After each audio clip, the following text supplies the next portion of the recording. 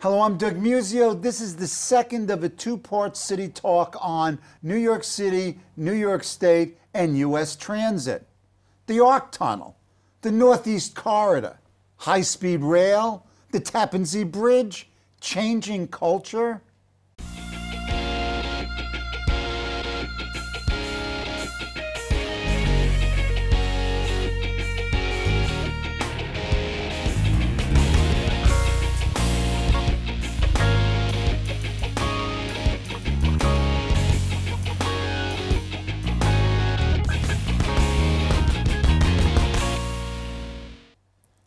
Again to talk all things transit is Robert Buzz Paaswell. Dr. Paaswell is a distinguished professor of civil engineering at the City College of New York. He is also the director of the CUNY Institute of Urban Systems and the director emeritus of the University Transportation Research Center, a federally funded center providing research and training to transportation professionals. Professor Paaswell has served on numerous city, state, federal, and international commissions and task forces. From 2009 to 2010, Professor Paaswell served as interim president of City College. Buzz, last week we basically talked about the MTA. Right. Let's move away from the MTA and take a, a more regional and New York State and New Jersey perspective. So we began, I began the show with ARC. Right. What is ARC or what isn't ARC? Well, ARC was originally stood for access to the region's core. It's the idea that you needed another Access to the tunnel region's core, so you have to get into Manhattan. from New Jersey. Right. And you there was another tunnel needed uh, to bring in uh, commuter rail and and eventually, as, as we know from Amtrak, you need a tunnel to bring in more Amtrak capacity. Absolutely. Why? Because the tunnels are old. They're, they're outdated. Amtrak has already announced that it's going to start shutting down Yep. some of these tunnels. Yep, I used the system. not out of spite or anything. The fact is that infrastructure has an age, and after a while, you have to repair it, you have to replace it, you have to modernize it, and and It and breaks the down. region. Fortunately, this is the this is a great great region. It's growing economically. It's been growing uh, for the past 20 years with that with that blip when, the, when the bankers sold Sure. us all out. But, Oh, but- I love those little political yeah, zingers. Go yeah, ahead, Buzz. But but uh, uh, it continues to grow. People want to be here. It's a center of arts, culture, finance, and entrepreneurship. And you know, for all the entrepreneurs you hear in Silicon Valley, there might not be a single Silicon Valley, but there are so many little mini places in New York that we have as many entrepreneurs Sure. as out there. Oh, yeah. But uh, so New York, people want to be in New York. And in order to be in New York, you have to get to New York. You have to have access. Transportation, that's what my, our work is about, is, is providing access, reducing the cost of getting from A to B. And you're not going to reduce the cost if you make it more congested, you make it harder, you make it, you make it so, so difficult that people say in the end, hey, I don't want to live there anymore. I want to live in one of these more casual cities. The, the, the, the 20 to 25 group is now thinking of maybe I should live in these small cities around the country where I can walk, you know, live in downtown. it and ain't walk New around. York. It ain't New York, but but they're making, but they feel connected because they're connected Yeah, by by in uh, the things in their right, hands and the things sure, in their ears. Right. So So, so we need a tunnel. we need a we've needed Don't it. tell me. I come in 20, 37 miles from northern New Jersey on Route 3 on the bus, hit the Lincoln Tunnel, and forget it. You should bring something to read. it. Read? Here. I, I, I could bring the encyclopedia. Read big, read thick books. Right, I- War and Peace. You know, the, the interesting thing, I, uh, we moved back to New York in 1990, and one of the first things that I got involved in uh, back in 1990 was a group from the Port Authority, New Jersey Transit, and the MTA were working on ARC. And uh, I came as the director of the University Transportation Research Center, and we got involved with them and just talking about Sure. studying it, and everything was a go, and it was a go until just a few years ago. Okay, wait, and it was going to be funded. Because I want to hear the whole story so I can get gonna, angry. It was, it was, it was. A lot of the money was going to come from the feds, uh, and originally, what ninety percent? yeah, well, not quite, but and, and originally, New Jersey Transit or the state of New Jersey, state of New York through the MTA, and the Port Authority were going to were going to have equal shares in it. Then uh, I think New Jersey uh, backed out a little bit, and then they backed out in a big way when Wait a minute, wait a minute. It it wasn't down. New Jersey. It was whom? Well, no. Well, the governor, the governor pulled the tunnel, but before that, there were there was less and less attraction because the cost of the tunnel went up and people weren't sure where Okay. the money was coming from. talk about talk about the New Jersey governor. Just just let it all hang out, Buzz. Well, no, I mean, Do I me a favor. I think As a a number friend. as a, as a transportation planner, Ah, as the transportation planner, uh, uh, we think it was an error to to to sh- to, to do the tunnel. We feel that that uh, New Jersey wouldn't have been left. New Jersey residents like you wouldn't have been left with huge tax bills. No. Or on the contrary, even if you were left with huge tax bills, you would get in return increased access to New York. So your savings in travel time over a year would more than pay for the extra taxes. right, right. So so it's a balance. And what does the governor use the money for that New Jersey was supposed to kick into ARC? Well, it was supposed to be regional. uh, Use it for New Jersey highways and things that should have come out of the trust fund. New Jersey gas tax is too low. Gas taxes should be higher. I- okay, let's. Uh, But that's uh, I'm speechless. No, I, I, I, I have a house in, in, in upstate New York, and we drive and we pay those taxes and gas. And I live in New Jersey. It's 40 cents difference. But our roads are terrible. And in a sense, it, I, don't start me, go ahead.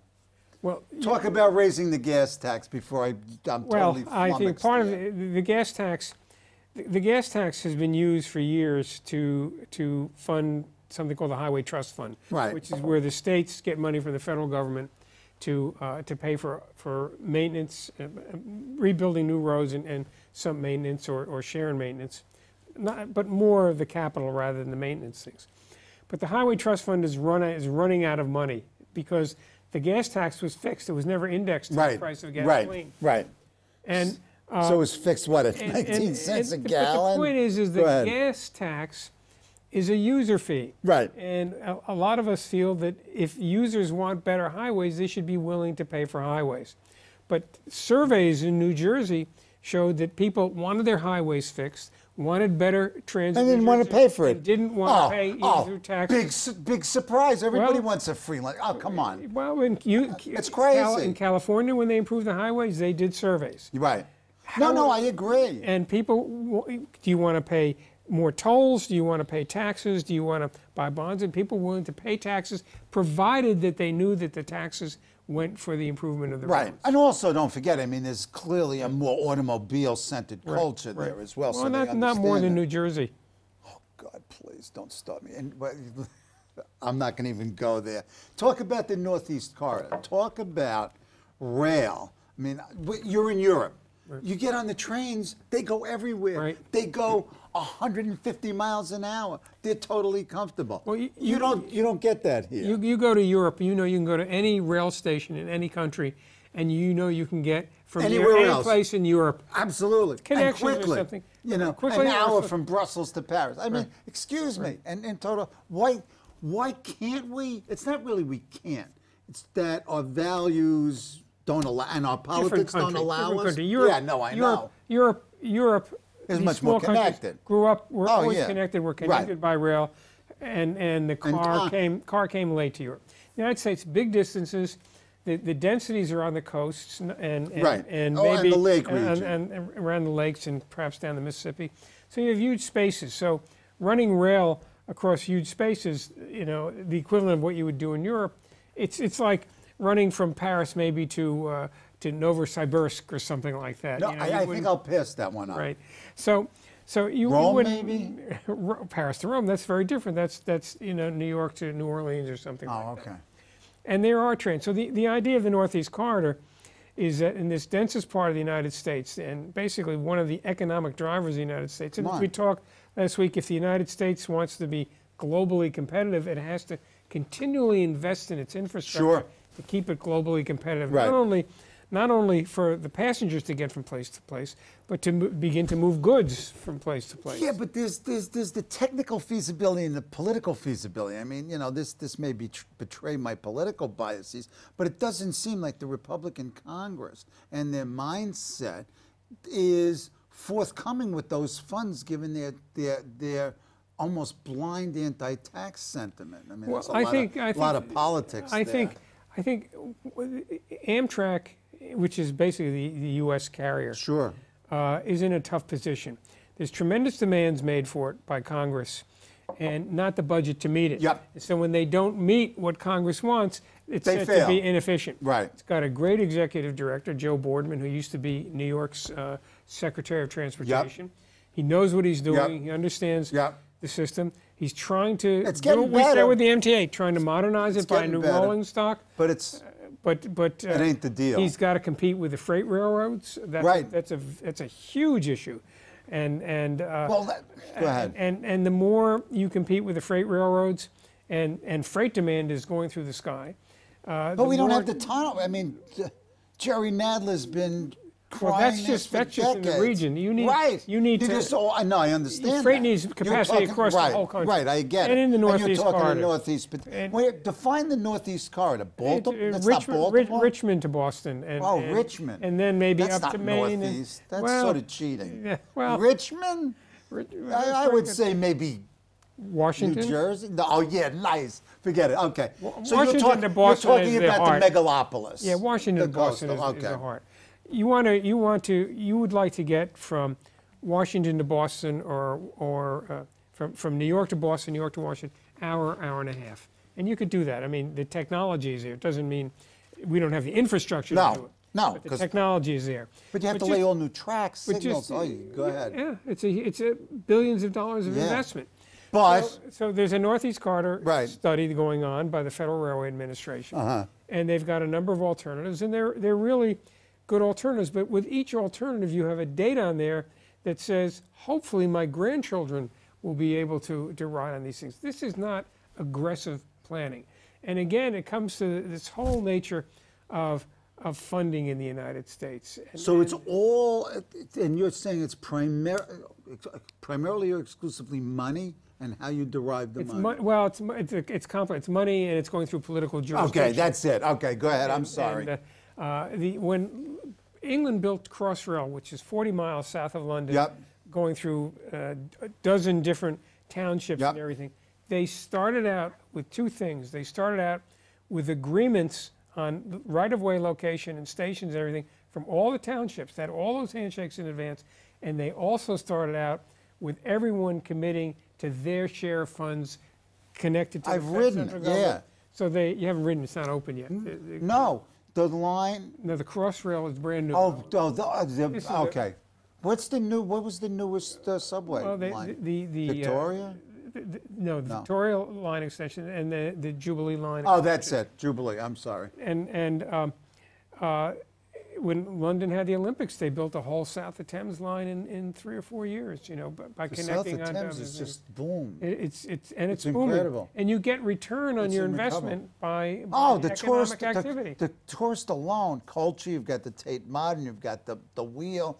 All kinds of clubs. It's really very smart development that, and they use the transit system. Go ahead. I'm sorry. So, no, well, in the Northeast Corridor, just think, if you can go from New York to Washington or New York to Boston in an hour, an hour and a half, where you walk to the station, and instead of making these complicated reservations over Amtrak and printing out your ticket, you go, you, you buy a ticket with your phone, you get on the next train because there's so many, you don't have to have a reservation, and you know you'll get there in an hour and a half. It changes the location of it, and you do more business between these places. This is what they found in Europe. When they built high-speed rail, all of the, the towns like Lille or, or, or uh, Frankfurt, the, the smaller, the smaller of the large cities, Uh-huh. had spurts of growth because they were connected to the, to the capitals of the country.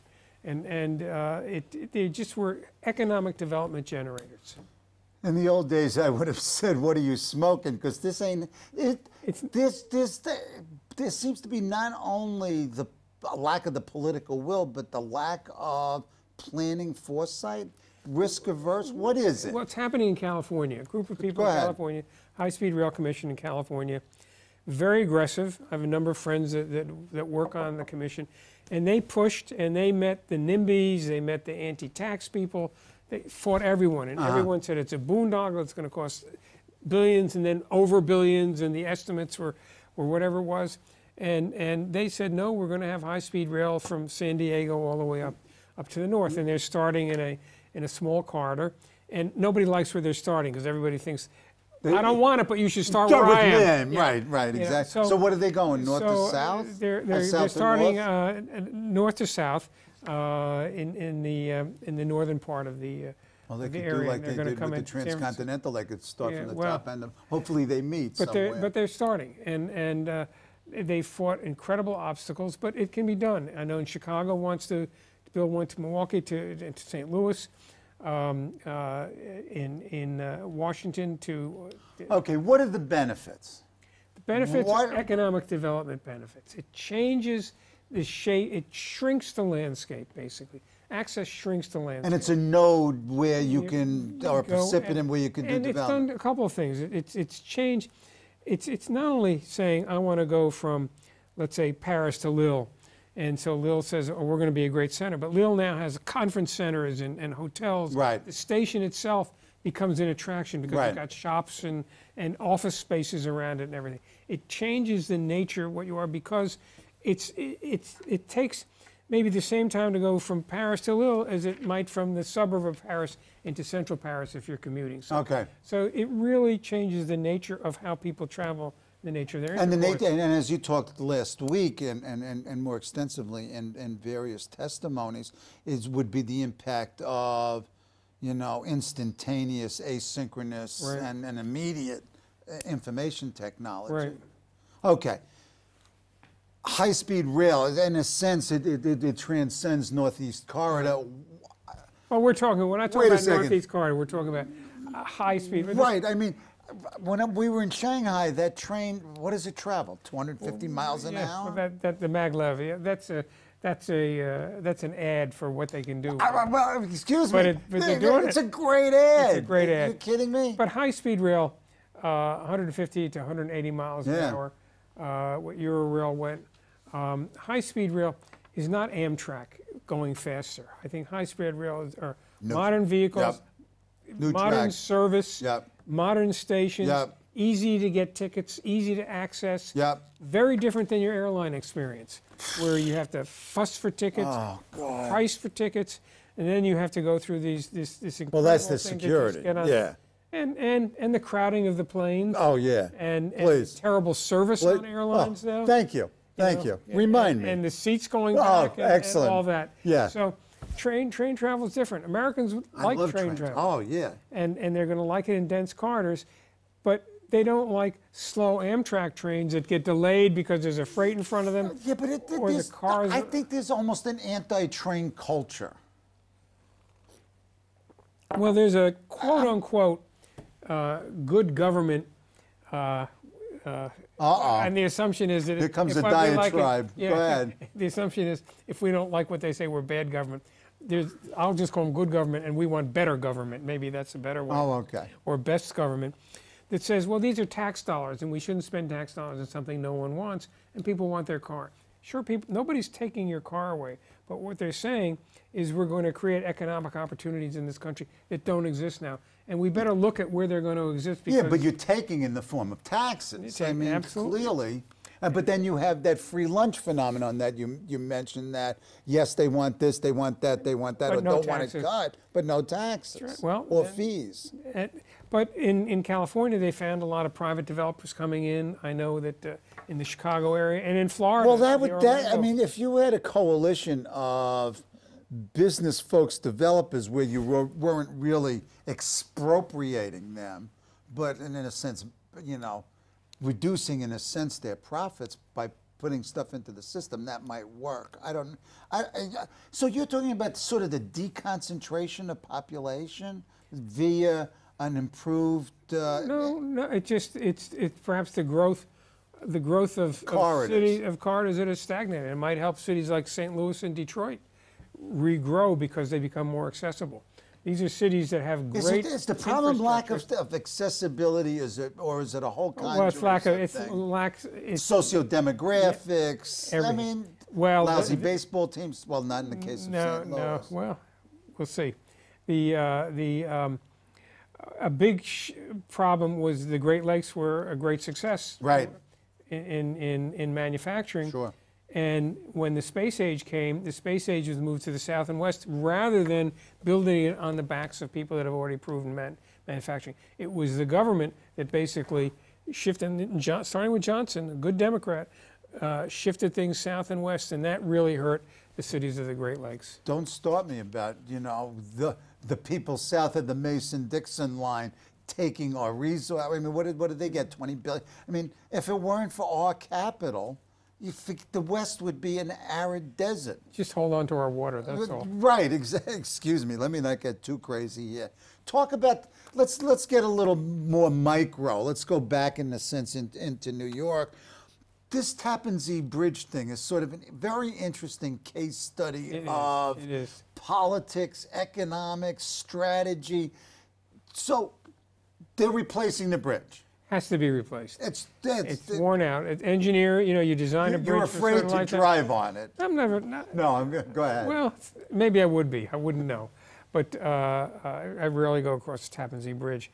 But uh, bridges are designed for a certain lifetime. But as, as we know, with, with bridges in the United States, a large number of which are over capacity, is that the amount of traffic and the weight of the traffic far exceeded the engineering projections of what they had. in and you have collapses all the time, killing you know multiple people. we had people. one in New York uh, 30 years ago, Right, and? And you had in the Midwest Right. all the time. in, in Minneapolis. So Yes. So um, uh, the Zee Bridge has to be replaced. No one knew how to do it, and and I, you know, I give this governor, I call this a genius move of the governor. And I know a lot of my friends say, well, you know, it's, it's showboating. Something it isn't. He, the Tappan Zee Bridge couldn't be done, and he said it's going to be done, and we're going to find the money. They're still going to find the money, but they started the bridge. One way or another. Wait a minute. One way or another. It's going to be paid for, It's right? It's going to be paid Yeah, for, but I- and you're going to have a new Tappan Zee Bridge. Right, but I mean, aren't the means by which you pay for things important? Well, They certainly are. And it does, isn't it sort of not quite dishonest Well, that, the- to build it and say, no, he's gonna. He it will be built by honest means.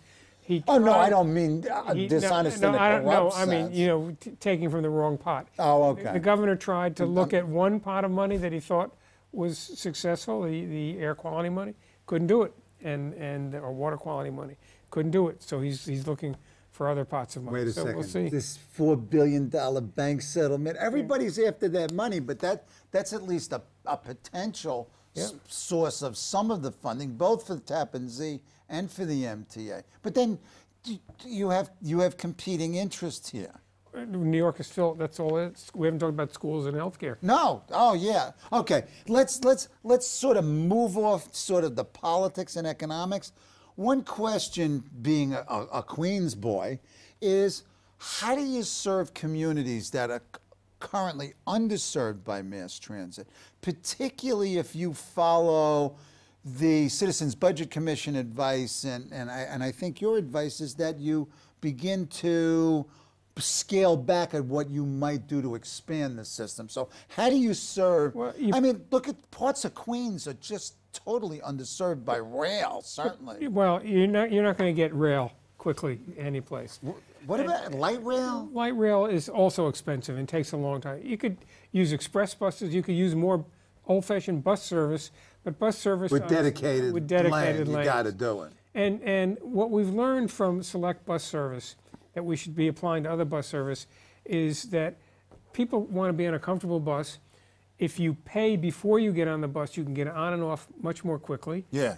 Uh, and so, and if you have zones, the bus can stop in zones. You can also get on and off more quickly. So you need you need to rethink bus service, especially in the outer boroughs and cross borough bus service. Okay. Has the MTA planned for this expansion, and would this expansion be on the chopping block if we need to maintain and upgrade our communications and signals? I suspect that they are looking at it gradually. The MTA is is is I, I don't think service is adequate now. I think bus service there's too many gaps in, in service. The, the headways between when I first moved back in 1990, there were buses. The 104 bus ran every three minutes down Broadway. Every three minutes.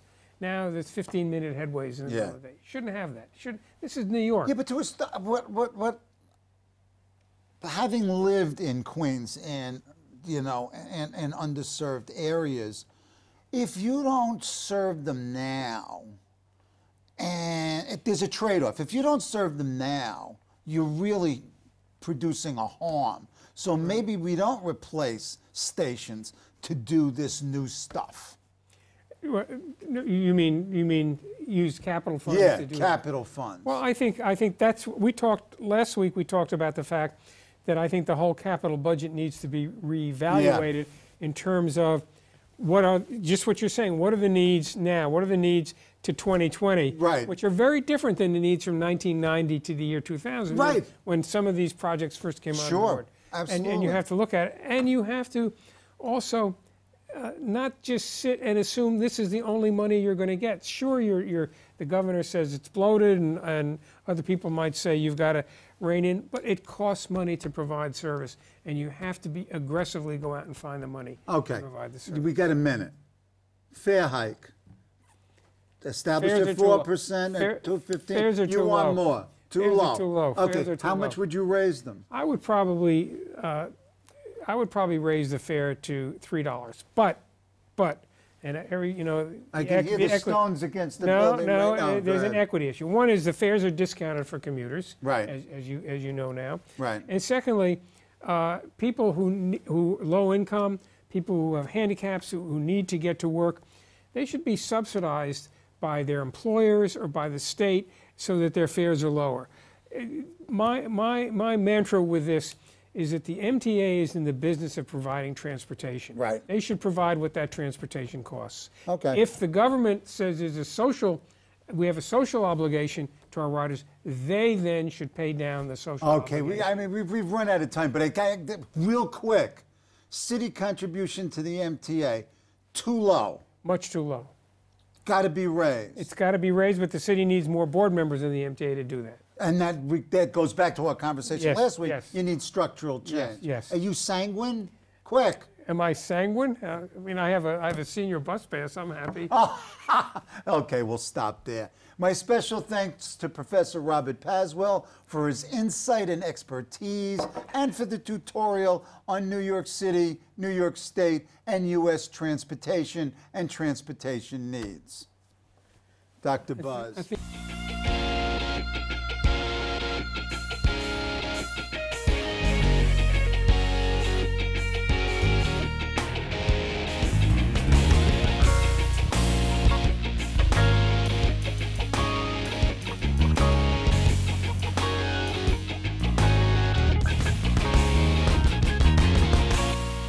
I'm Doug Muzzio. Let us know what you think about this show. You can reach us at cuny.tv. When you get there, click on the bar that says Contact Us and send your email. Whatever it is. Thanks, no thanks, obnoxious, do it. Send it.